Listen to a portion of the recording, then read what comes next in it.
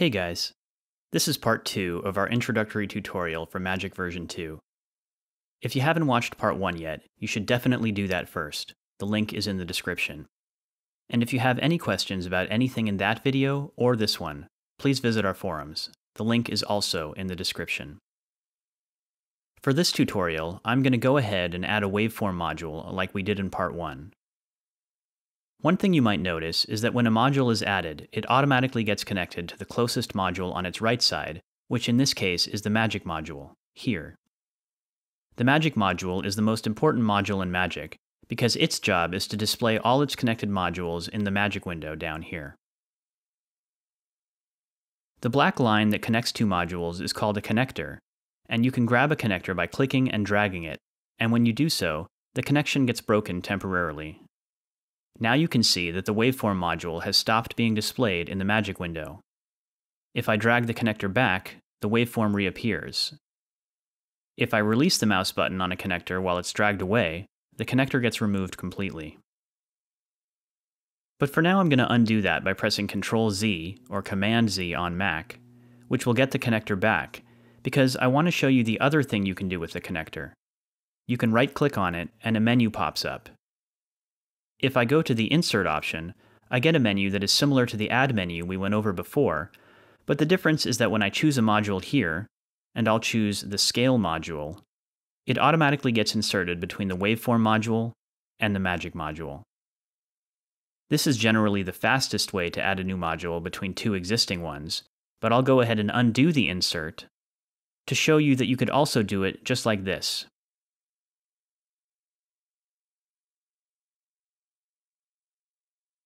But it doesn't really matter how you do it, because both methods achieve exactly the same thing.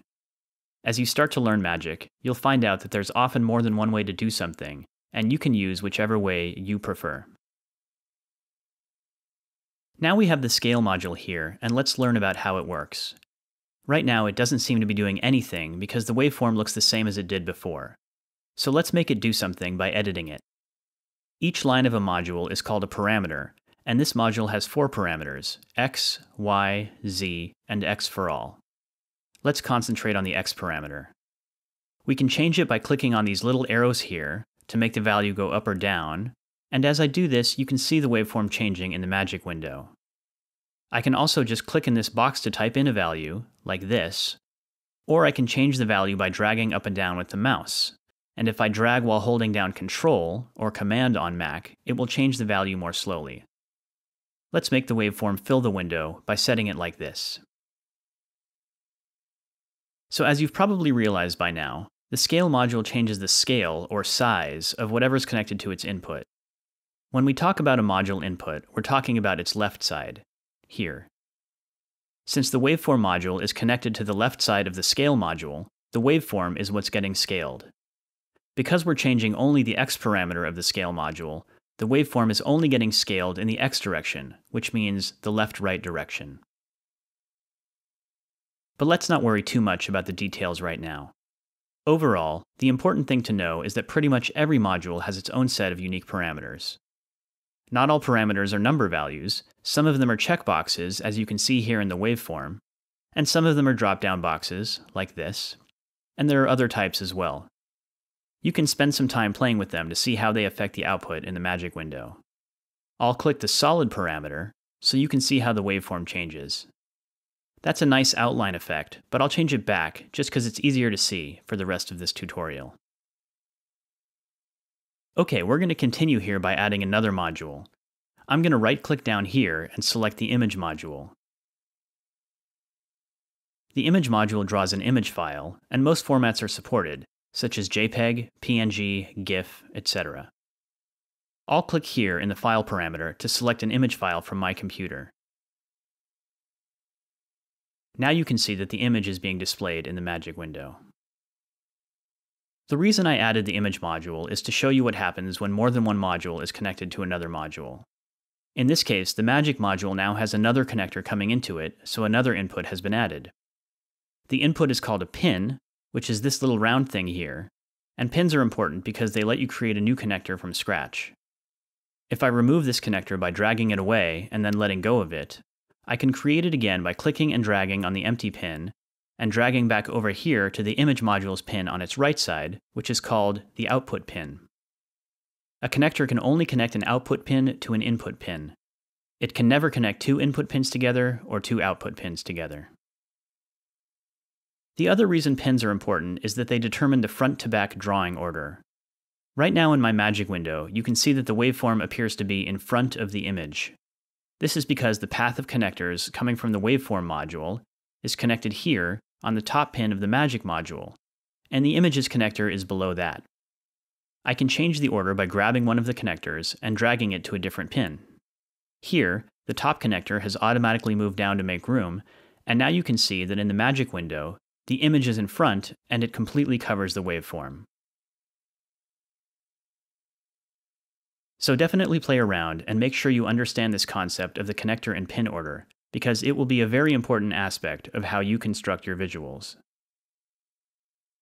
In the rest of this tutorial, I want to go over a couple smaller concepts. The next one is how to disable modules. Disabling modules means that you make them temporarily inactive, and there are two ways to disable modules. They are represented by these buttons here at the top of each module. The green button on the right side is the power button, and the button next to it is the bypass button. When I click the bypass button, this module gets turned off, meaning its effect is no longer being applied. You can see that the waveform's size has changed because the scale module is inactive. To turn the scale module back on, I simply click the bypass button again. The power button is very similar to the bypass button because it turns the module off, but it also turns off all modules that are connected to the input. Now you can see that the waveform is also turned off, and it has completely disappeared. To bring it back, I just click the power button again. So what's the purpose of disabling modules? Well, this little project I've created is a perfect example of why I might want to do it. If I wanted to look at my waveform without being distracted by the image in the background, I can turn off the image. Or, if I want to look at my image without being distracted by the waveform, I can turn off the waveform. Disabling modules is perfect for getting things out of the way temporarily, and then you can always bring them back later when you're done editing. It's very important to understand that every module has a power button, as you can see, but not every module has a bypass button. Only modules that have both input and output pins, like this scale module here, have a bypass button. Modules that have no input pins, like the waveform and image modules, or no output pins, like the magic module, have no bypass buttons, simply because there's nothing to bypass to. And that's it for disabling modules. Try playing around with it on your own computer, and I'm sure you'll pick it up pretty easily. The very last thing I want to cover is this little button here. All it does is minimize the module so it takes up less space. It doesn't affect the way the module functions at all, and it doesn't change the output. It's just there in case your project starts to get crowded and you need to make more space. To bring the module back to normal size, just click the button again. And that ends our tutorial for now. I hope you've enjoyed this overview of connectors, pins, parameters, disabling, and minimizing. Make sure to subscribe to our channel so you can get notified when we post our next tutorial about linking, which is one of the most important concepts in Magic. In the meantime, if you have any questions, remember to visit us on our forums. We really look forward to hearing from you. Thanks very much.